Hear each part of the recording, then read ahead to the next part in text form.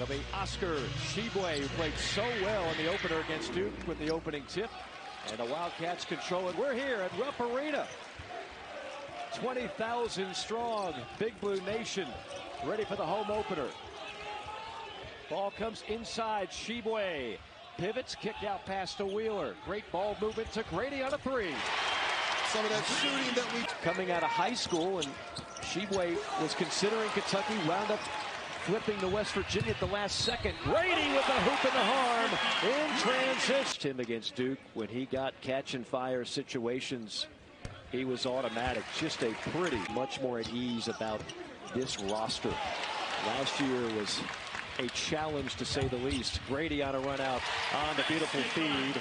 Williams, the inbounder. Lob pass. Look at Collins causing a disruption.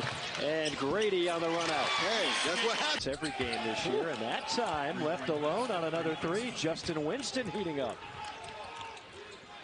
Winston out of West Orange, New Jersey.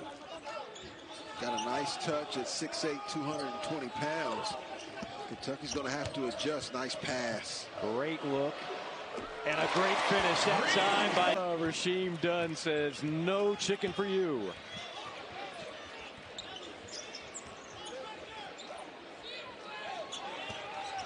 Collins finds Grady. Wow. Tough shot. As we talked about, all recruiting classes aren't created equal, and that's where he's got to learn to not get too deep, to pull up for the jump shot, or try to use the floater and find a teammate.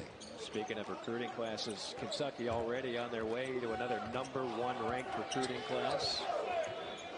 Paul Biancardi says they've got the number one